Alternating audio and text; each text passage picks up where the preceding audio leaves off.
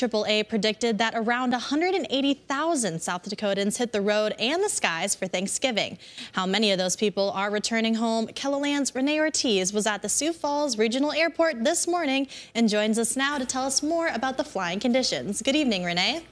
Good evening, Julia. I spoke to three different groups coming from Arizona, Chicago, and Dallas. Each group had a different experience flying in.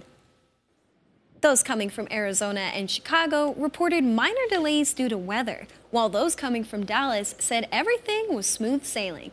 Kendra Poulter was visiting her in-laws for Thanksgiving. She says her family planned ahead for the high travel weekend. Left um, last Thursday on Thanksgiving, actually, out of Sioux Falls into Dallas, and it was pretty busy. Um, but definitely busy on the way back, too. A lot of people, airports were full, flights were full. AAA predicted around 160,000 drivers will return to South Dakota this weekend.